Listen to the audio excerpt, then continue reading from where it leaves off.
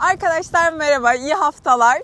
San döndükten sonra bu ilk videomuz yine soğuk kara kış rüzgarlı yerimize geri döndük. Şu an West Orange'dayız. Ee, Burası Eagle Rock Reservation diye geçiyor. Çok güzel çok güzel manzarası olan bir yer. Ee, Göreceğiniz üzere. Evet Eren bu haftaki konumuz nedir? Bu hafta çok iddialıyız. Diyoruz ki Amerika'ya adım attınız, bir ay geçirdiniz ve pişman olacağınız kesin 5 şey. Bunlar nelerdir diye. Bunlarla ilgili size kendi 6 aylık tecrübemiz sonucunda gördüklerimizle birlikte harmanlayarak başlıklar haline tek tek size anlatacağız.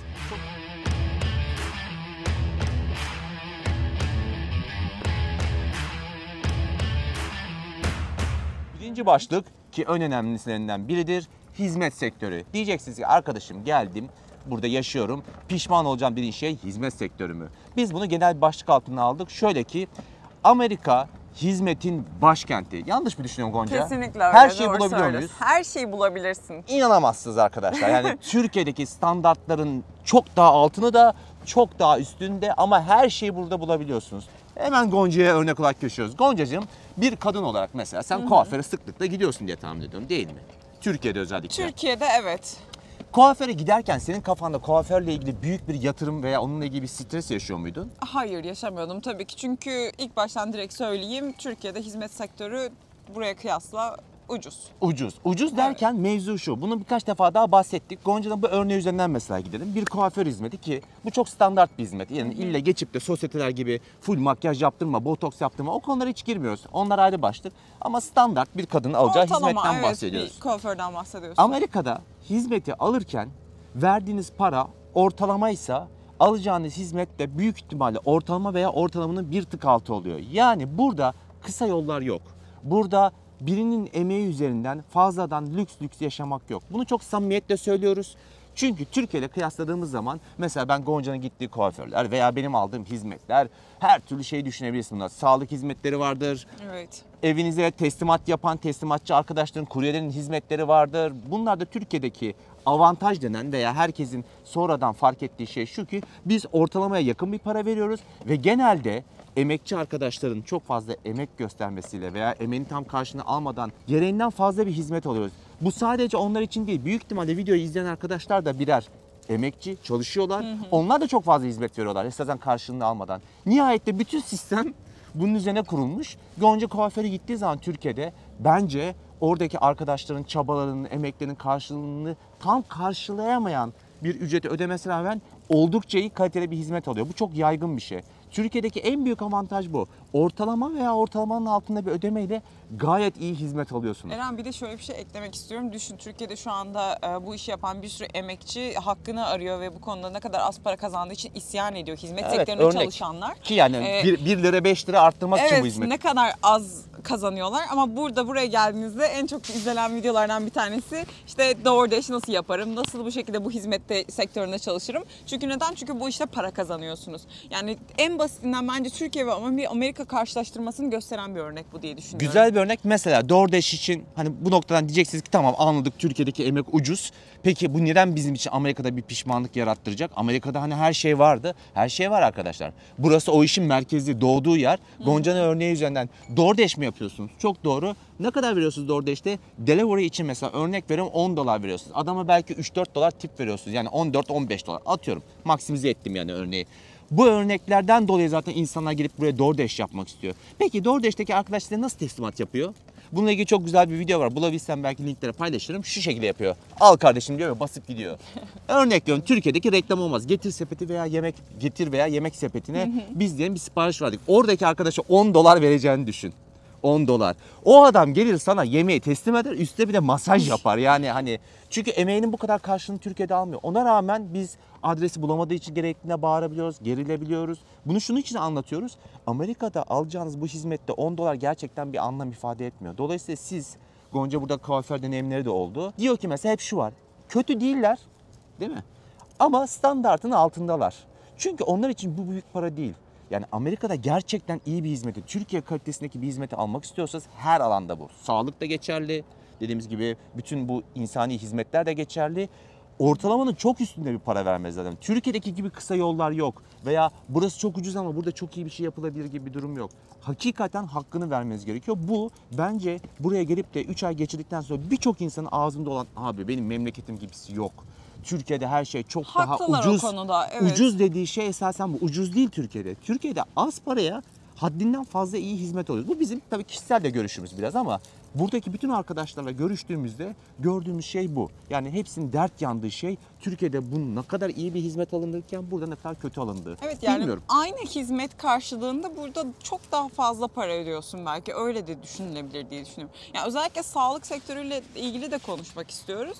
Hani burada böyle çok pahalı, çok şöyle böyle diye çok fazla yorum var. Biz o kısma çok fazla girmeyeceğiz ama hani Türkiye'deki e, sağlık sistemini aşağı yukarı biliyoruz yani şu andaki duruma göre.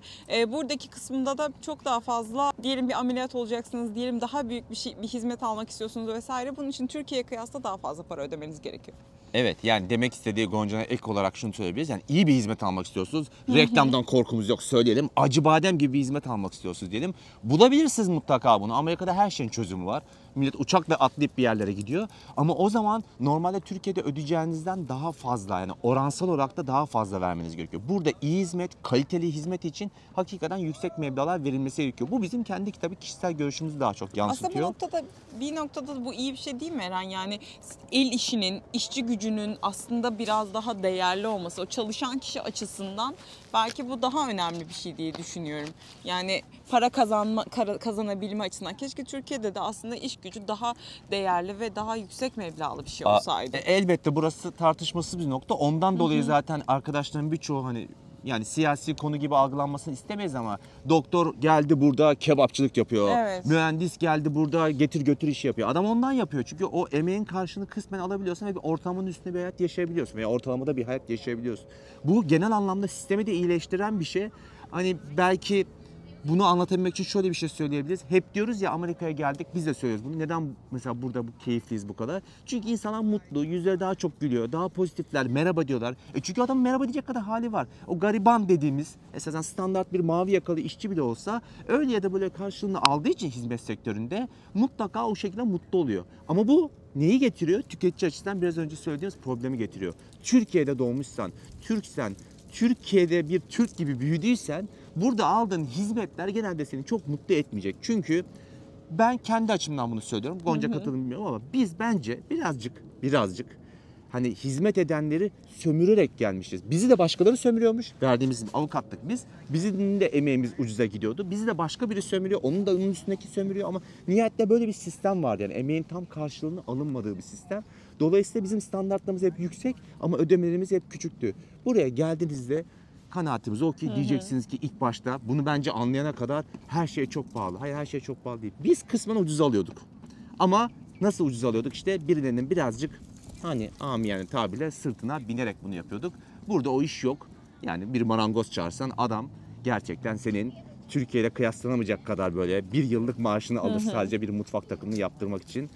Ama bu işler öyle. Öyle yaptığı için o adam da mutlu, yüzü gülüyor. Sistem ona göre gelişiyor. Hizmet sektörüne ona göre kaliteli adamlar geliyor.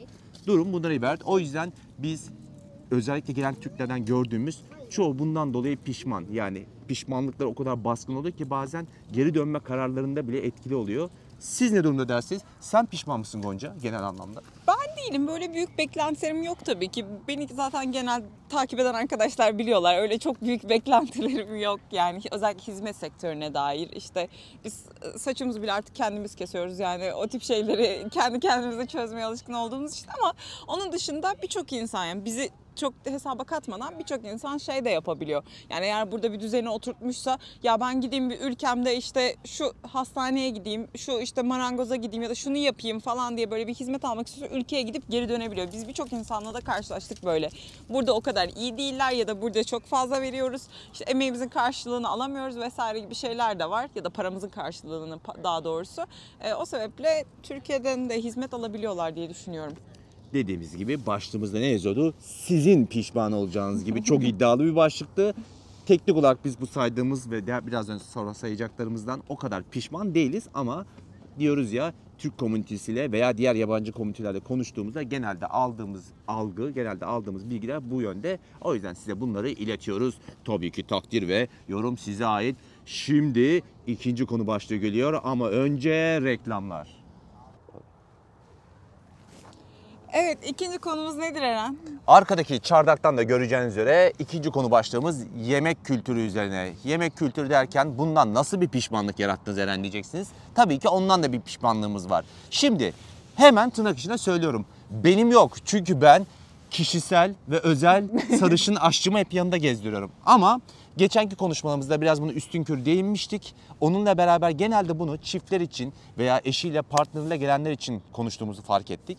Ama birçok arkadaşımız özellikle genç arkadaşlar buraya atlayıp geleceğiz abi tek başımayım şöyle yapacağım böyle yapacağım diyorlar.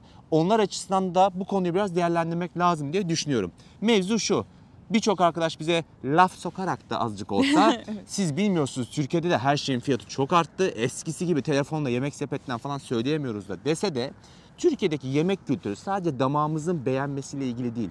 Genel anlamda bireysel olarak tek başına yaşayan biri çok rahatlıkla doyurabilecek ve ona geniş bir perspektifi, geniş bir vizyonda yemekler sunabilecek şekilde evrilmiş. Buradan şunu bahsetmek istiyorum. Örnek veriyorum ben tek başıma yaşıyorum. Bekarım, hiçbir iletişimim yok, bana bakan yok, annem yok, sevgilim yok, sarı kuş yok, kimse yok. Ama ben telefonda sıcak yemeklere ulaşabiliyorum, günlük yeme düzenimi değiştirebiliyorum ve bunlar makul ulaşılabilecek şeyler değil mi? Mesela Gonca'nın yine reklam olmaz. Senin Beşiktaş'ta çok sevdiğin bir lokanta vardı. Neydi Gonca'cığım örnek olarak vermek gerekirse? Dönerci mi diyorsun? Balkan Şey- diyorum. Ha Balkan diyorsun. Aa tabii Balkan. Reklam burada Aa, evet. burada geçsin Ay Balkan keşke Re- Balkan öyle bir şey alsak. Reklam kabul ediyoruz arkadaşlar. Balkan restoranı neden seviyordun? Mesela senin için esprisi neydi? Ya bütün arkadaşlar biliyordur zaten hem uygun fiyatlı hem de böyle bütün ev yemeklerinden yiyebileceğiniz bir yerdi yani. Hatta hakikaten güzel. Keşke burada olsa yani. Ben onu gerçekten özlüyorum diye Ev yemeği yani demek Evet istiyorsun. tabii ki ev yemekleri ve gerçekten makul fiyatlardaydı. Şimdi yine arkadaşlar diyecekler ki Balkan'da Çok, çok, pahalandı, öldünüz, siz kendinizi kurtardınız gibi şeyler diyecekler. O konudan bahsetmiyoruz. Başka bir şey söylemek istiyoruz açıkçası. Demek istediğimiz şu, Gonca gibi, Gonca öğrenciliğinde çok kullanmıştı onun okulda oralara Evet. yakın olduğu için. Hepimiz kullandık, ben de kullandım. Hem makul fiyatlıydı hem de hamburger yemektense sürekli düzgün böyle anne yemeği gibi olmasa geniş bir seçenekten böyle sulu yemekler yiyebiliyorsunuz. Türkiye'de insan buna alışıyor. Öyle alışıyor ki hak- hakikaten. Yani telefonla evinize söyleyebiliyorsunuz. Mutlaka her yerde esnaf lokantaları var. Yemek çeşitliliği çok. Sadece bize yakın olduğu için değil. Yani kuru fasulye çok güzel burada yok. O muhabbeti yapmıyorum. Genel anlamda eğer bir tık sağlıklı beslenmek istiyorsanız bu ulaşılabilir fiyatlara ve makul bir şekilde size her yerde sunuluyor. Şimdi New Jersey'de biz yaşıyoruz. Hepiniz biliyorsunuz diye tahmin ediyorum. Onun North Bergen bölgesindeyiz. Etrafımızda birkaç tane lokanta var değil mi Gonca ulaşabileceğimiz? Aralarından Evet. Meksika yemeği yani her şeyin kızartıldığı böyle Güney Amerika yemekleri veya doğrudan Amerikan hamburgeri dışında bize bir seçenek sunan bir alternatif restoran gördün mü? Hiç görmedim. Sıfır. Gerçekten yok sıfır. yani. Çok samimi Koskoca. Northburgen'da yok yani. Yani bahsettiğim şey kuru fasulye değil arkadaşlar. Bakın altını tekrar çiziyorum. Lütfen geçip de Türk yemeklerini özlüyorsanız gelmeyin oraya demeyin. Ondan bahsetmiyoruz. Diyoruz ki yani sağlıklı bir alternatif. Yani belki en sağlıklı olarak Japon yemeklerini bulabilirsiniz. İşte birkaç tane sushi restoranı falan o da çok az yani yine fazla değil ve fiyat rayiçleri yüksek Amerikalılara göre bile. Onun dışında seçenek alternatifi sınırlı. Bunu şunun için söylüyoruz. Türkiye'de siz bir şekilde kendi başınıza hayatta kalırken dışarıdan bu desteği alarak, restoranlara ulaşarak, yemek yiyerek özellikle bir kişiyseniz yani bir çift değilseniz çok rahatlıkla yaşayabiliyorsunuz. Ama buraya gelince ki buradan bu kanal üzerinden tanıştığımız çok sevdiğimiz arkadaşlarımız var, abilerimiz var. Tek başına buraya gelmişler. Onlara da selam olsun. Burada şimdi isimlerini zikretmeyelim. Belki istemezler. Yani eşini, sevdiğini orada uzakta bir yere bırakmış. Öncü olarak kendi gelmiş. Ve yani en çok özlediği şeylerden biri de doğru düzgün bir yeme yeme kültürü. Çünkü oluşmuyor ister istemez. Zaten çalışıyorsa Evet. bütün gün çalışıyor. Okula gidiyorsa belki 10 saat derse gidiyor. Yani nihayetinde olay tamamen sizin sırtınıza kalıyor. Ne demek sizin sırtınıza kalıyor? Yemek yapacak birine ihtiyaç var. Hem yemek yapacak birine hem de yemek alabileceğin yerler bir yandan da kendi kültüründe, kendi şeyinde. O yüzden birçok insan ah Türk yemeği olsaydı, ah annemin yemeği olsaydı diyor aslında. Diyeceksiniz ki bu önemli mi? Valla biz konuştuğumuz birçok kişiden Evet, geri dönüş referanslarından biri bu. Yani şaka gibi geliyor ama hayatımızın üçte biri uyuyarak geçiyorsa, üçte biri gezerek geçiyorsa galiba üçte biri de yiyerek geçiyor arkadaşlar. Yemeğe ulaşamamak bir süre sonra hızlı bir birikim sizde yaratıyor. Eğer işte videonun en başında söylediğim gibi bu biraz bizim açımızdan belki bağlayıcı değil ama eğer yanınızda bir partneriniz varsa veya siz bu konuda gerçekten yetenekli ve sabırlıysanız elinizdeki malzemelerle ben kendi damak tadıma göre bir diyet oluşturabilirim diyorsanız Okey sorun değil. Mesela bu konuda yalan söylemeyeceğim. Görev daha çok Gonca'ya kalıyor. Ben bütün konularda yardımcı olmakla beraber çok yemek yapmayı bilmediğim için Gonca sağ olsun bizim diyetimizi ayarlayacak şekilde mevzu Türk yemeği değil. Buradaki Meksika usulü bir çorba da yapabilirsin. Mevzu Evet, genel anlamda yemek işi- çeşitliliğini arttırmak. Hem yemek çeşitliliğini arttırmak hem de bizim biraz iş bölümümüz de o şekilde gibi yani hani evimizde zaten o şekilde düzenliyoruz daha çok birçok şeyi. Ee, onun dışında arkadaşlar yani gelenler bundan gerçekten çok fazla şikayet edebiliyor. Az önce bahsettiğin gibi özellikle tek başına gelenler için söylüyorsun değil mi? Tabii ki Yani tek başına. vakit yani o de gerekiyor vakit de yok çünkü. çünkü doğal olarak yani. Dolayısıyla bu sizin buradaki pişmanlıklarınızdan en büyüklerinden biri olacak gibi gözüküyor. Biz hatta açıkçası konuştuğumuz her 10 Türk'ten 8'inde 9'unda bunu gördük. Yani dediğim gibi bunu kesinlikle anamın yemeği gibi algılamayın. Bahsetmek istediğim şey makul, mantıklı, ulaşılabilir şekilde düzgün bir rejime ve diyete sahip olmak. İnsan ilk başta buraya gelirken şunu diyor. Hayatla ilgili beklentisi var. Ekonomik, sosyal, ilişki açısından. Ve diyorsunuz ki yemeği geri plan atıyorsunuz. Yemek ya ne olacak diyorsunuz. Ama uzun vadede planlar yapıyorsanız, 2-3 aylık planlar yapıyorsanız bir süre sonra yemeğin, yemek kültürünün sizin hayatınızda ne kadar önemli olduğunu ve o 3 aydır sürekli sabit belli şeyler yemenin sizde nasıl etki yarattığını yavaş yavaş görüyorsunuz. Bahsettiğim sadece sağlığınızın bozulmasıyla ilgili bir şey değil. Bahsettiğim psikolojik olarak da sizin o sılayı, sıla hasretini yaşatan şeylerden biri. Çünkü çok uzak kalıyorsunuz. Bunu aşmanın iki yolu var. Dürüst olmak gerekirse biri kendiniz hani yemek yapmayı öğreneceksiniz ve bu konuda yetkin olacak ve gücünüzü toplamanız lazım. İkincisi eğer iki kişi geliyorsunuz bir görev dağılımında partnerlerden birinin bu konuda çok becerikli ve bilgili olması lazım. beraber işte yani. Ya da beraber Ya- bunu kar- Ya yapmaları bir tabii ki beraber olması da harika bir şey ama bazen hani genç arkadaşlarımız geliyor 25 yaşında 20 ikisi de çok hakim değiller. Yani Türkiye'de İstanbul'da çoğu kez evde yemek yapmaktan daha ucuz dışarıdan düzgün bir rejim oluşturmak, sulu yemeğe ulaşmak. Evet bir de sürekli McDonald's'tan beslenmek de bir süreden sonra bir nefretlik getiriyor Yani McDonald's'ta yani. biz laf sokmak için söylüyoruz ama genel anlamda yani markette de gitsiniz her şeye ulaşabiliyoruz ama yani nihayette onu yapacak biri, yapacak bir ortam da lazım. Yani biz şanslıyız kısmen evimiz var, kendimize özel mutfağımız var ama buraya gelen birçok arkadaşla yine bizzat bu kanal aracılığıyla tanıştık. Odalarda kalıyorlar, evleri paylaşıyorlar. Bazen her şey o kadar kolay olmuyor. Dolayısıyla önemsiz diye düşündüğünüz bu şey sizin en önemli konularınızdan biri haline zaman içerisinde özellikle geliyor ve bir noktadan sonra gerçekten geri dönüşle ilgili motivasyon sebeplerinizden biri oluyor. Bu pişmanlığı biz çok fazla Türk arkadaşlar gördük. Sadece Türk değil, yabancılarda bile görüyoruz. Yani bir El Salvadorlu, bir Guatemalalı bile onların mutfağı burada olmasına rağmen kendi istedikleri gibi bazı şey yapamadıkları için uzaklaşıyorlar bu ülkeden. Bu bilinen bir sorun. Zaten Amerika'nın temel problemlerinden biri bu uzaklık ve kültüründen kopma olayı. Bunu da göz ardı etmeyin diyoruz ve üçüncü konu başlığımıza geçiyoruz.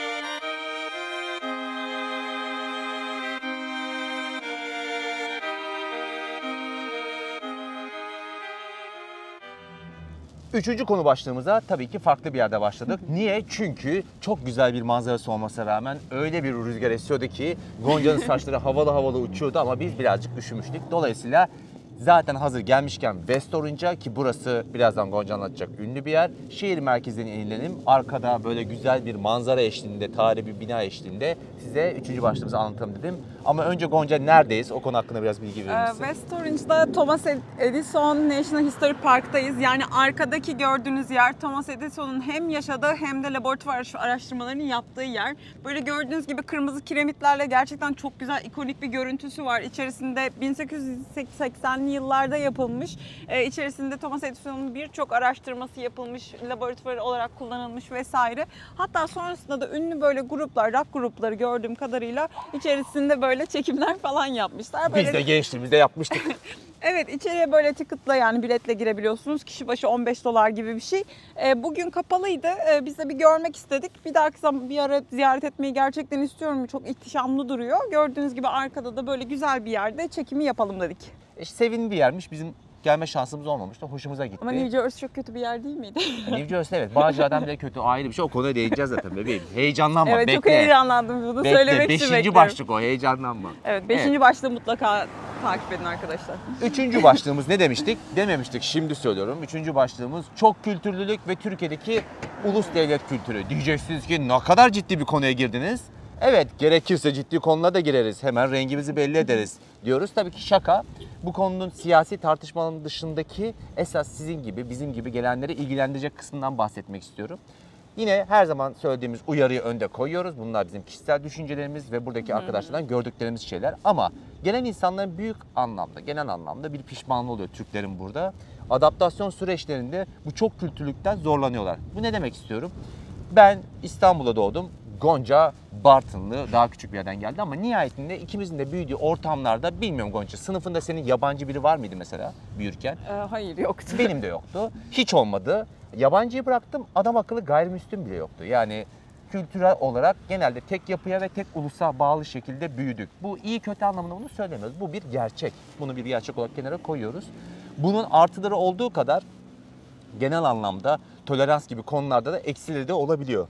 Tabii. Örnek veriyorum Anadolu büyürken zenci bir hocamız vardı İngilizce öğretmenimiz Patrick. Keşke tekrardan onunla konuşma şansım olsa. Çok eğlenirdik. Kendisi İngiliz olmasına rağmen biz ona Amerika muamelesi yapardık ve smaç vurmasını isterdik. Adam derdi ki İngilizler basket oynamaz ama bizim gözümüzde o zenci ve Amerikalı basketbolcuydu. Bunu şunun için anlatıyorum. Bize aşırı sempatik geliyordu ama şimdi mesela buraya geliyoruz. Burada zenciye karşı yoğun bir ırkçı yaklaşım da var. Onu da görüyorsunuz mesela. Türkiye'de büyürken ister istemez farkında olmadan bütün kafanızdaki konuları, bütün hayat tarzınızı hep bir tek kültür ve tek ulus üzerine inşa ediyorsunuz. Dolayısıyla kendinizi beyaz yakalı olarak adresseniz de ben çok modernim, çok geniş bakış açısına sahibim desen de farkında olmadan sizden farklı olanlara karşı bir hani biraz amiyen tabirle agresif bir yapı oluşturuyorsunuz. Bu sizin onları yargılamanızı, bazen sinirlenmenizi, bazen kızmanıza sebebiyet verecek kadar sert dahi olabiliyor. Amerika'ya biz gelmek için Gonca ilk sebebimiz neydi? Ne ülkesi dedik biz Amerika'ya buraya? Bence bu çoğu arkadaşın söylediği şeydir. Özgürlükle ilkesi dedik. Çünkü birçok ulusun, birçok farklı yerden insanın yaşadığı bir yer. Yani bu biz bunu çok fazla istemiştik. Buranın en temel merkezindeki şey buradaki özgürlük anlayışıydı ve biz bunu yaşamayı gerçekten istiyorduk. Ancak tabii ki bunun farklı e, durumları, farklı sıkıntıları da olabiliyor. Evet, özgürlük derken sadece size özgürlük olmuyor değil mi arkadaşlar? Ben maalesef işi gerçek tarafı bu. Yani toleransınızın yüksek olması gerekiyor. İnanın bana bunu umursamayacağınızı veya Türkiye'de kendinizi baskı altında hissediyorsanız çok baskıya uğradığınız için ama ne olacak önemli. Tabii ki herkes rahat olsun diyeceğinizi biliyoruz. Ama Türkiye'nin dedim ya bir önceki yapısı o farkında olmadan çok tek tip şekilde yaşadığımız için bir anda böyle bir ortama gelince bazı uygulamalar, bazı adetler, bazı insan davranışları size o kadar o kadar rahatsız edici geliyor ki farkında olmadan siz de yargılamaya başlıyorsunuz. Biz bunu sıklıkla diğer Türk arkadaşlarımızda gördük ve bazen burada kalmamaları için veya burayla ilgili pişmanlıkları için en büyük sebep bu oluyor. Yani diyor ki ben bunlarla yaşamak istemiyorum. Ben böyle saçma sapan insanlarla birlikte olmak istemiyorum diyor. Yaşam tarzları farklı gelebiliyor belki. Gerçekten farklı. Yani bunu çok fazla örneklendirip kavga, gürültü, kıyamet yaratmak istemiyoruz. Ama dediğimiz gibi örnek verelim. Siz bir Türk olarak neyi seviyorsunuz? Türklerin atasporu nedir? Mangaldır tabii değil mi? Siz burada bir parka ona özel ayrılan bir anda çok rahatlıkla mangal yapabilirsiniz. Ortalığı toz duman haline getirebilirsiniz. Genelde size buna laf etmezler. Çünkü kültürel bir zenginliktir bu. Ama yan tarafta bir Çinli de yarasa kesip nasıl ırkçı bir yorum oldu? Yarasa Çok kesip oldu onu gerçekten. yiyebilir. Yani bunu tabii egzajere ederek, abartarak söylüyoruz. Sadece şunu da etmek için yani oradaki o davranışlar, o ritüeller, dini ritüeller, mill- milliyete bağlı olarak ritüellerden rahatsız olmamaya hazır olmanız gerek. Ve bunu çok çok samimi bir şekilde söylüyoruz. Biz kendimizi müthiş hümanist, müthiş beyaz yakalı, müthiş Avrupa'yı görmemize rağmen biz bile bazen ya abi bu kadar da yani falan gizli gizli kendi aramızda evet, kendi aramızda. yargılıyoruz. Yani bu çok doğal bir şey. Dedim ya bunlar sizin pişman olacağınız şeyler. Siz derken de genelde burada gördüğümüz Türk komünitesinden insanlar için. Siz bunlar rahatsız olmayabilirsiniz ama bilin ki bu suratınıza bir tokat gibi çarpacak. İlk başlarda wow ne kadar fantastik dediğiniz şeyler bir süreden sonra ya abi bunlar da ne Yani garip grup adamlar şeklinde dönecek Kısaca yani. evet e, alışkanlıklarına, kendi davranışlarına, kendi kültürünüze çok fazla bağlıysanız burada ne yazık ki E, aslında ne yazık ki demeyeyim. E, Birçok kültüre saygı duymaya ve onların düşünce yapısına, davranışlarına, yaşam biçimlerine gerçekten e, karışmamayı öğrenmek durumunda kalıyorsunuz. Çünkü çok fazla burada e, bir e, yaşam biçiminde olan insan var ve onlarla bir arada yaşamayı öğrenmeniz burada gerekiyor gerçekten. Ve onlar öğrenmişler. Açık söyleyeyim Amerika'da 10 yıl kalanlar, Asya göçmenleri, Güney Amerikalılar, Avrupa'dan gelenler bayağı bu olaya hakimler. Sizi garipsemiyorlar. Ondan zaten geçen videomuzda bahsetmiştik ya biz hata yaptığımızda soru diyoruz, cümle kuramayacak. Adamlar hiç umurunda değil. Çünkü onlar kültür olarak zaten genel anlamda bunu kabul etmişler. Tabii ki ırkçılık var dedim ya. Ama onun dışında genel anlamda zaten bunu kabul etmişler. Ve dolayısıyla bu konuda rahatsız da olmuyorlar. Bunu belki çok büyük bir zenginlik olarak görmeyen bir kitle de var. Ama diyorlar ki abi Amerika böyle özgürlükler ülkesi. Herkes kültüründen bir parça getirecek. Bizi güçlü kılan da bu diyorlar. Bizim gibi Türkiye'den gelenler için inanın bana bu bazen çok zorlayıcı olabiliyor. Çünkü sadece kültürünüzü özlemek değil mevzu. Bu farklılıktan rahatsız olduğunuz çok fazla konu başlığı çıkabiliyor. İlk başlarda şakayla karışık yargılıyorsunuz. Sonra ciddiye bağlıyorsunuz. En sonunda nefret ediyorsunuz ki ben özellikle kişisel tecrübem burada 20-25 yıl kalmış Türklerin neredeyse tamamında bunu gördüm. Tamamı buradaki kültürel bu çeşitlilikten bıkmış ve yani belki kötü bir ifade ama iğrenmiş haldeler. Bence öyle bir durum yok. Bizce de öyle bir durum yok. Ben zamanında bu kadar Evet. sertleşeceğimizi de düşünmüyorum. Ama onlar öyle görüyorlar. Dolayısıyla bunu göz ardı mutlaka etmeyin diyorum. Hatta şöyle bir dipnotla da bunu bitirebiliriz.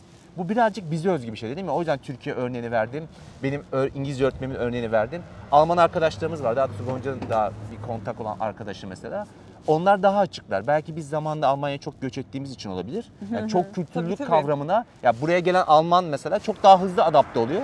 E çünkü alışık zaten yani Almanya çok göçmen almış. Hatta Fransızı falan da öyle yani. Bir bizim gibiler için esas bu iş zor. Benim gördüğüm en azından yani. Yani yine onlar için de problem, şey problem. Biz yine kısmen Avrupa ile benzer kültürel özellikle benzer yaşam biçimlerine sahibiz ama Amerika'daki kısım biraz daha farklı. Belki bir Avrupa'daki daha fazla seyahat de edebildiği e, avantajıyla daha çabuk adapte olabiliyor olabilir ama e, bizim için biraz bir tık daha zor olabiliyor burada yaşamak. Ve şimdi Gonca'nın heyecanla beklediği 5. başlıktan yani Ay. 4 artı 1'den önce 4. başlığımıza geçiyoruz. Hemen hayır dedi ama Evet, çok heyecanla ve diyecektim. hazır şeklinde bekliyor. Siz de bekliyorsunuz ama önce görevimiz olan 4. başlığı tamamlamamız lazım.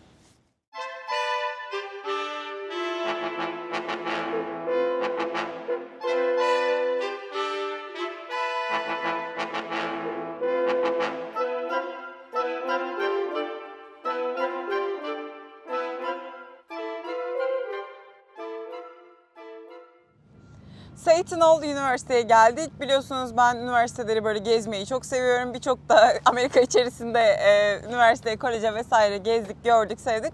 Burayı da böyle yakında görünce hemen Eren'e dedim ki buraya gelelim, burada bir çekim yapalım. Tam da şansımıza güzel bir yerde oturduk. Dördüncü konu başlığımızı burada anlatmaya karar verdik. Dördüncü başlığımız genel ifadesiyle izolasyon hissi yani Amerika'nın insanlar üzerinde yarattığı yalnızlık ve ilişkiler üzerindeki etkileri diyebiliriz. Bununla ilgili biz genel yorumlarımızı yapmıştık. Özellikle ilişkinizi bekleyen tehlikeler veya arkadaşlık ilişkileri üzerine uzun sohbetler yapmıştık ve birçok Evet. arkadaş bundan keyif aldığını ve çok beğendi. Benzer şekilde konuları konuşmamızı istediğini belirtmişti. E, yine daha derinlemesine bu olaylara da ineceğiz ama şunu fark ettik ki genelde biz bütün bu bakış açılarımızı bir çift olarak buraya gelmiş insan olarak böyle yine iki kişi gözü önünden baktığımızı fark ettik ama elbette buraya birçok tek arkadaş single dediğimiz yani yalnız kişi de geliyor. Onlar önden gözünden belki değerlendirme farklı olabilir. Bu yüzden biraz da bu konuya değinelim dedik. Zira iki kişi buraya geldiğinizde izolasyon hissini daha az yani o yalıtılmış veya toplumdan kopmuş hissini biraz daha az hissediyorsunuz. Çünkü birbirinize hep destek verecek biri var. Ama tek başınıza geldiyseniz hele ki çok kalabalık olmasına rağmen New York gibi büyük bir şehre geldiyseniz belli bir noktadan sonra biraz önce bahsettiğimiz o özgürlük kavramı, özgürlüğe karşı insanların bireysel özgürlüğe karşı verdiği saygıdan dolayı ister istemez sizin daha böyle izole veya toplumdan kopmuş bir hale büründüğünüzü en azından biz buradaki arkadaşlarımızdan deneyimlemeyi başardık. Bu bir açıdan belki anlattığımız hikayelerde olduğu gibi başarı veya iyi bir şey de olabilir. Yani ne güzel işte herkes birbirine saygı duyuyor, bireysellik ön planda diye. Ama bir noktada da özellikle yalnız gelenler için yarattığı etki nedeniyle yıldırıcı ve belli bir noktadan sonra Türkiye'yi çok fazla aramalarına sebebiyet veren veya onları pişman oldum abi burada doğru düzgün bir ilişki kuramıyorum dediği bir noktaya sürükleyen Türkiye'deki olgu olarak karşımıza Belki çıkıyor. ilişki şeklini, ilişki tipini beklersen belki burada o yüzden o sebeple farkındalık, farklılık yaşayabilirsin. Farklı beklentilere girebilirsin diye düşünüyorum. Çünkü Amerika'da da da birçok arkadaşımızla konuştuğumuz üzere uzun düzgün bir ilişki kuramıyorum falan diyorlar. Yani o sebeple bu sadece e, Türkler için değil yabancılar için de geçerli olabiliyor. E, buradaki e, ilişki sistemi bize çok çok daha farklı gelebiliyor. Belki daha e, koruyucu kollayıcı olarak alışmış olduğumuz ilişki tipine göre e, burada daha farklı hissedebiliyoruz. Kendimizi daha yalnız hissedebiliyoruz. Bu da en büyük etkenlerden bir tanesi oluyor. Gonca'nın belirttiği gibi tabii bunu sadece Türklere vurgulamamak lazım. Hatta belki ondan şunu rica edeceğim. Şimdi sen kendi arkadaşların üzerine özel hikayelerden de bir kısmı anonim isimleri belki paylaşabilirsin. Buraya gelip de madem herkes birbirine bu kadar saygı duyuyor, herkes birbirini eşit görüyor, neden doğru düzgün daha uzun süreli bir ilişki kuramıyorlar? Bunları böyle örneklendirebilir misin arkadaşların kafasına belki Evet, oturabilmesi? Kesinlikle öyle. Benim en yakın arkadaşlarımdan bir tanesi e, yakın zamanda evlendi E, ve onun da eşi Avrupa'da yaşıyor. E, ama böyle uzun mesafe ilişkileri var ve bir türlü e, çok samimi olamıyorlar. Ya onu getiremiyor buraya yaşamak için. Kendisi de gidemiyor ve e, aileler de destek ol- olmuyor. Böyle tuhaf biraz bir durumları söz konusu. Bir türlü işin içinden çıkamıyor ve ben her zaman şey diyorum. Türkiye'de olsa bu mümkün değil. Türkiye'de olsa aileler destek olur. Türkiye'de sen e, evlendiğinizde ya da bir ilişki sahibi olduğunda dahi e, o ailenin bir şekilde içerisine girebiliyorsun ve daha samimi ilişkiler kurabiliyorsun. Ama buradaki insanlar için, Avrupa'dakiler için vesaire bu biraz daha e, uzak olabiliyor ve bu bize biraz farklı gelebiliyor. Bana da farklı geliyor hatta. Ben böyle bir ilişkiyi yürütemezdim diye düşünüyorum. E, onlar da ama bazen böyle ciddi ilişki kurabilmek için işte ne bileyim çocuk sahibi olabilmek için vesaire bunlar bazı duygularından, bazı hissettikleri şeylerden fedakarlık yapmak durumunda kalabiliyorlar. Yani her zaman dediğimiz gibi artılar, eksiler hep kol kola, kucak kucağa birlikte size geliyor. Yeni bir dünyaya, yeni bir hayata adım attığınız zaman bunların ilk başta artı gözüken yerleri gibi eksileri de olacağını unutmamamız lazım. Bizim hep övdüğümüz özgürlük ve özgürlük alanlarıyla ilgili konumlar gördüğünüz gibi ilişkilerde bile doğrudan etki ediyor. Yalnız gelecek insanlar için bu çok daha önemli bir konu başlığı.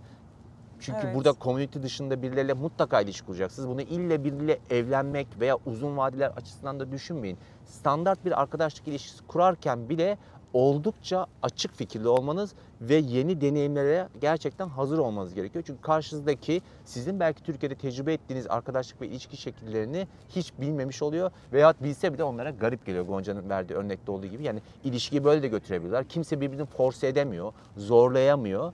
E, bu da insanlarda belli oranda hani bu ilişkiye adapte olamama ve bir noktadan sonra da işte yavaş yavaş yani hiç kız arkadaş burada olmadığı benim yakın veya işte erkek arkadaşım hiç olmadı veya daha doğrusu arkadaşım bile olmadı noktasına taşıyabiliyor. İster istemez burada iki aşama ortaya çıkıyor. Birincisi ya Türk komünite içine giriyorsun ki eğer kültür olarak Türkiye'de de böyle çok hani adapte olmuş bir halde değilseniz bu konuya orada da başarılı olamıyorsunuz. E diğer durumda da bu bir pişmanlığa dönüşüyor ve yalnızlık hissedildikleri esasen o eskiye özlem arkadaşlarla ne Evet, güzel evet. içerdik. Arkadaşlar ne iyiydi ki aynı arkadaşları siz zamanında biz de videomuzda yaptık. Hani gömmenize rağmen eleştirmenize rağmen burada o izolasyon o kadar sert bir şekilde suratınıza çarpıyor ki farkında olmadan o eskinin sadece güzel anıları gelip bir nokta sonra pişman oluyorsunuz. Yani asla o arkadaşlıkları bulamayacağım. Keşke bırakmasaydım çok pişman noktasına geliyorsunuz. Biz bunun gerçekçi bir pişmanlık olduğunu düşünmüyoruz. Sadece anlık bir yalnızlığın sonucu gibi. Çünkü burada özellikle kendisine bir partner bulan veya evlenen veya uzun süre ilişkisi olan insanlarla tanıştık. Onların çok daha hızlı bir şekilde adapte olduğunu ve tırnak içerisinde abi Türkiye'deki ilişkiler gibi olmuyor değil mi burası dediğimizde yo ben keyfim yerinde dediklerini biliyoruz. Yani bu birazcık başarmakla da ilgili bir şey ama elimizdeki örneklerin çoğu maalesef bu konuyla ilgili bir pişmanlık bize belirtti ve hep aradıkları şeylerden birinin de ya doğru düzgün arkadaşlık ilişkileri olduğunu söyledi. Bu bizim gördüğümüz kadar büyük ihtimalle sizin veya büyük bir toplumun geldiği zaman da yaşayacağı pişmanlıklardan biri. Bu arada Eren çok ufak bir şey eklemek istiyorum. Yabancı dilde kavga etmek diye de bir şey var. Yani kız arkadaşınla erkek arkadaşınla istediğin şekilde kavga edemiyorsun. Senin bir arkadaş örneğin vardı ya o aklıma geldi birdenbire. Hani burada bir yabancı bir ilişkin olan bir erkek arkadaşın kız arkadaşın olsa onunla da herhalde Dil bariyeri bir yerde problem yarattığı kuramazsın. gibi Gonca'nın dediği Bazen. gibi kavgaların da önüne geçiyor. Çünkü hepimizin birçok tecrübesi olmuştur bunu şu an izleyen arkadaşların da. Hani kavganızı sadece bir an dürüstçe göz önüne getirin ilişkinizdeki ve düşünün. Hani neden dolayı bu kavga çıkıyor? Genelde suya sabuna dokunmayan çok kıymetsiz konular büyür. Orada karşındakinin bakışına laf edersin. Kullandığı tek kelimeyi tamam sen onu doğru söyle ama neden o şekilde cümle kurdun deyip kızarsın ya. Burada onlar olmuyor. Çünkü sen Bangladeşlisin, arkadaşın İsveçli diyelim. Yani o Lost in Translation diyorlar ya zaten dil o kadar kayboluyor ki arada. Öyle tek kelime üzerinden kavgayı böyle alevlendirip yükseltebilecek bir hale gelmiyorsun. Biz bunu birebir gördük. Yani genelde zaten olayı çok temel konularda tartışırlarsa tartışıyorlar. Yani ben Almanya'da yaşıyorum, sen Amerika'da yaşıyorsun, niye gelmiyorsun gibi sadece. Bu kadar. Yani onun dışında ay sen bana mesaj attın ama orada benim hakkımda şunu dedin, canıma şunu bunu. Bunlar olmuyor çünkü öyle bir komünikasyonları olmuyor. İngilizce hakim bile olsalar ikileri. Çünkü dediğim gibi yani bu biraz kült, aynı kültürden gelmenin bir şeyi. Gonca'nın dediği yani komik bir yerde hani bir avantaj da ama dediğim gibi işte o bahsettiğim izolasyon his- hissini de köpürten bir şey. Çünkü asla o kadar yakın olamıyorsun belli noktalarda en azından. Bu da bizim gördüğümüz dediğimiz gibi pişmanlıklardan biri. Şimdi Gonca'nın heyecanla başladığı bizim 4 artı 1 kuralı dediğimiz birazcık bizim yargı zamanımızı andıran bir konuya geleceğiz. Biz bunu çok sıklıkla yaşıyoruz. Başkaları yaşıyor mu bilmiyoruz. Çünkü bunun ağırlığını hissedebilmek için kendinizle ilgili gerçekleri şu an bizim yaptığımız gibi kamuya aktarmanız gerekiyor. Eğer buraya gelip de daha kapalı bir hayatta yaşıyorsanız, sadece aileniz ve birkaç arkadaşınızla Türkiye'den konuşuyorsanız büyük ihtimalle bu suratınıza çok sert çarpmayacak. Ama daha böyle dışı açık bir insansanız, Instagram'ınız varsa, bir şeyler paylaşıyorsanız, aileniz, çevrenizle sık sık konuşup onlara buradaki hikayeleri anlatıyorsanız, illa YouTube kanalı yapmanız da gerekmiyor. Büyük ihtimalle bir noktada bundan dolayı pişman olacaksınız. Bu pişmanlık da bizim söylediğimiz her zaman gibi Türkiye tarafından size akın akın gelen ağır yorumlar, ağır eleştiriler. Nedir bir Türk insan olarak buraya geldiğin zaman ilk aldığın eleştiri ve artık seni burada pişman eden, keşke ağzımı açmasaydım, hiçbir şey söylemeseydim, gizli gizli taşınsaydım dedirten şeyler. Neler mesela Gonca? Eren'in dediği gibi bizim çok fazla var aslında. Hangi birinden başlasam bilmiyorum. Ee, en basitinden başlayayım. İlk aklıma gelen mesela biz e, New Jersey'ye taşındık. Çok mutluyuz. Burada gerçekten çok keyif alıyoruz falan dediğimizde New Jersey mi? Çok korkunç bir yer. İşte Bağcılar daha iyi. Bir kere gittim nefret ettim falan. Şeyleri, şeyleri oluyor. Ya da New Jersey değil de ne alakası var? Şurası bilmem. Sanki biz böyle şey demişiz gibi hani. Vatan millet Sakarya gibi savunuyoruz. Hayır Amerika'da böyle en güzel yer New Jersey falan demişiz ki. Ki diyebilirdik bence. Yine bizim kendi fikrimiz olurdu ama hani öyle bir şey demeden neden mesela şunu tercih ettik, neden burada yaşıyoruz, neden bunu yapıyoruz falan gibi bir kanalımız da olduğu için kendi görüşlerimizi sunduğumuz e, böyle içerikler paylaşıyoruz. Sonrasında bunlardan linç yiyoruz. Ya aslında çoğu şeyden linç yiyoruz ama hani sevdiğimiz şeyden işte tercih ettiğimiz yere işte e, buradaki yemek fiyatlarından işte Türkiye kıyaslamasına vesaire. Yani tabii siz orada gezin şeyi olabiliyor. Bence çoğu taşınan kişinin hani bizim gibi bir kanalı olması dışarısında dışında e, şey durumu söz konusu olabilir bence. E, sen orada gez tabii. Biz burada sürünüyoruz falan da söz konusu olabilir diye düşünüyorum. Yani sadece akrabalarınızla, arkadaşlarınızla konuşsanız bile tabii ya sen yaparsın. Tabii ya işte şöyle olur. Yani bilmiyorum Eren benim aklıma bunlar geliyor. Yani birçok konudan aslında linç yiyebilirsiniz diye düşünüyorum. İki başlığı ayırabiliriz. Biri aile çevreniz, diğeri de üçüncü kişiler diyelim. Aile çevreniz şu, yani yakın çevreniz, arkadaşlarınız hepsinin içine kattığımız çember. Bu buraya gelen hemen herkesin mecbur kalacağı durumlardan biri. Türkiye'deki ekonomik şartlar çok değişken. Siyasi hayat çok hareketli. Gündem sürekli değişiyor. Ve siz mesela buraya geliyorsunuz. Şunu söylüyorsunuz. Ya işte bugün de musluğum patladı. E, muslukçu bulmak çok zor oldu. Şunla şunla uğraştım. Bu sizin için büyük bir problem. Çünkü burada belli bir süre kalınca bu sizin için gerçekten sıkıntılı bir durum oluyor. Çünkü standartlarınız ona göre değişiyor. Ve siz bunu söylediğiniz zaman en yakın hani biz şanslıyız kendi ailemizden bunu yaşamadık ama yani yaşayan çok kişi olduğunu bildiğimiz için söylüyoruz. En yakınımızın dediği şey burada millet aç, burada millet bilmem ne. Sen gelmişsin oğlum, kızım, yeğenim bunları dert ediyorsun diye. Ama buradaki hayatta bu, bu bunu dert ettiriliyor. Yani bazen öyle bir şey oluyor ki bir şey söyleyeceğiniz zaman yakın bir tanıdığınız arkadaşınız bile olsa geri adım atıyorsunuz. Hep şunu düşünmeye başlıyorsunuz. Şimdi söyleyeceğim. O da diyecek ki ben işte doktorum, bilmem ne işi yapıyorum, mühendisim, şuyum, avukatım. Ben burada o kadar para kazanmıyorum. Sen gelmişsin buna laf etmişsin ve öyle bir noktaya gidiyor ki heyecanını, mutluluğunu, belki Evet. karşındaki insan için ona da yeni kapı açacağını düşündüğün bir şeyi paylaşmaktan yani geri adım atıyorsun. istemiyorsun. Çünkü bunun yüzünden birkaç defa pişman olmuşsun. Yani lanet olsun hiç ağzımı açmasaydım, hiç söylemeseydim diyorsunuz. Bunu sadece biz yaşamıyoruz. Herkes yaşıyor. Dediğim gibi ilk aşamada özellikle aile ve arkadaş çevresinden bu geliyor. Ha diyelim ki onlar bu konuda çok daha anlayışlı ve size destek olan insanlar ki ne şanslı biz öyle bir gruptan geliyoruz. Yani çevremizden çok fazla baskı almadık yakın çevremizden de. O yüzden rahatız. Ama her halükarda eğer siz bu hayatınızı ki hadi gerçekçi olalım Amerika'ya gelen herkes YouTube kanalı kurmasa bile bir heyecanla Empire State'i paylaşıyor değil mi? Sağ Evet. fotoğrafını paylaşıyor veya kendi hikayelerini insanlara söylemek ve onlardan güzel tepki almak istiyor. Üçüncü kişilerle kurduğunuz iletişimlerde sosyal medya üzerinden özellikle linç yemek mevzu değil. Yani sizi gerçekten pişman ettirecek noktaya getiriyorlar. Ki sağ olsun ben her zaman söylüyorum bu kayda alındığı için söylenen bir şey değil. Bizi çok mutlu eden bir takipçi kitlesine sahibiz. Evet, Birçok çok arkadaş özellikle gerçekten. birçok arkadaş özellikle bunu belirtiyor. Sakın hani işte trollere bilmem neye takılıp da vazgeçmeyin, pes etmeyin. Biliyorum bazen sizi bıktırıyorlar gibisinden. E, hakikaten öyle yani şurada bu çekimleri yaparken genelde biz yeniden çekim yapmıyoruz yani. Böyle tek bir sabit konu hücum kayıt şeklinde yapıyoruz. Arada bir kestiğimiz tek konular şu oluyor. Gonca ile birbirimize dönüp ya şimdi bunu dedik ama vallahi bizi pişman Kesinlikle. ederler. Yani bu lafı ettiğimize, buraya geldiğimizde pişman anlamazlar, dinlemezler, sonuna kadar bile izlemezler videonun diye. Dolayısıyla bu pişmanlık hissi çok kuvvetli.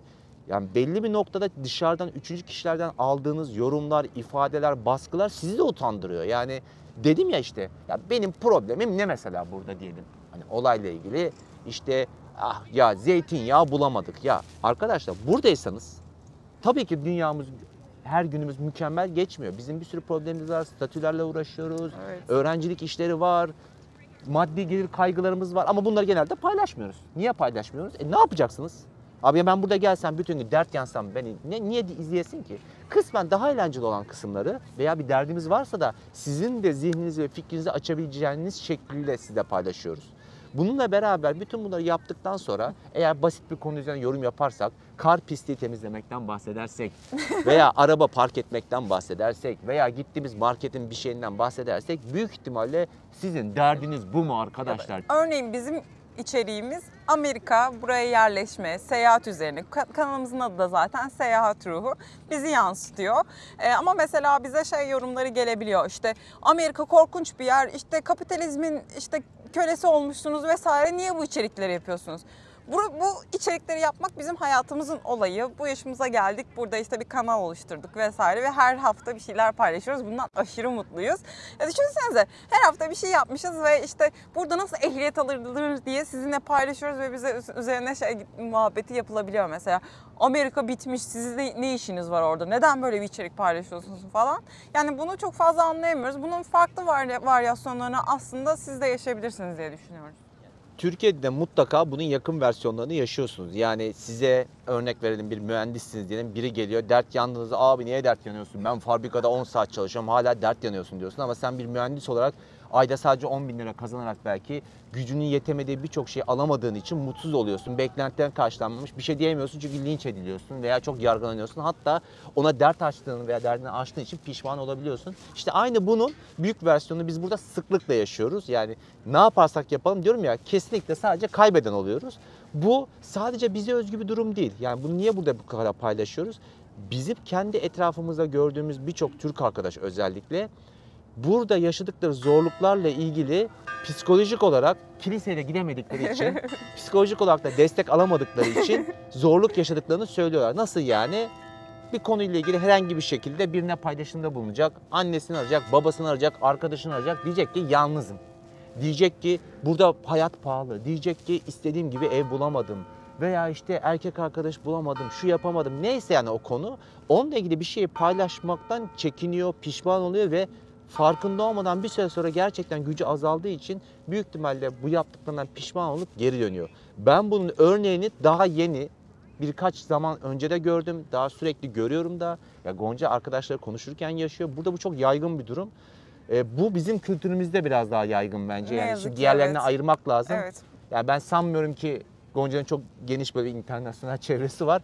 Oradakilerden biri annesini aradığı zaman veya arkadaşını ya işte zorlanıyorum dediğinde ne zorlanıyorsun mis gibi Amerika'dasın falan demiyorlar. Ya onlar da tamam Ya kızım evet. oğlum diyorlar ama Bizim burada İzleyen genelde tokatı arkadaşlar yiyoruz. biliyordur zaten yani bu bizim genel birazcık kültürümüzün de üzücü bir parçası. Ee, o sebeple biz bunu sadece hani böyle bir içimizi dökelim falan diye değil, diye değil. Buna da bir yandan dikkat edelim, aklımızda olsun. Ama bir yandan da bizim de tavsiyemiz e, buna çok da fazla kulak asmayın. Yani bazen biz bile zorlanıyoruz. Hani böyle bazen şey oluyorum. Eren şuna galiba şu yoruma cevap yazacağım falan diyorum. Sonrasında neyse diyorum ya boş ver yani. Hani birazcık da yani bazı şeylerden pişmanlık duysanız da e, yolunuzda devam etmeniz gerekiyor. Her şeyi göz, göz ardı edip. Evet ama nihayetinde gerçekler bunlar. Yani bir noktada gerçekten pişman olabiliyorsunuz.